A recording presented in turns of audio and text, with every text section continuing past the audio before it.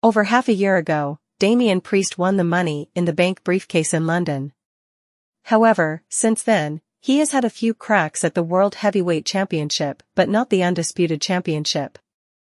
This week on WWE SmackDown, while it's highly unlikely, we could see Damian Priest appear on the show and create chaos in an already chaotic storyline.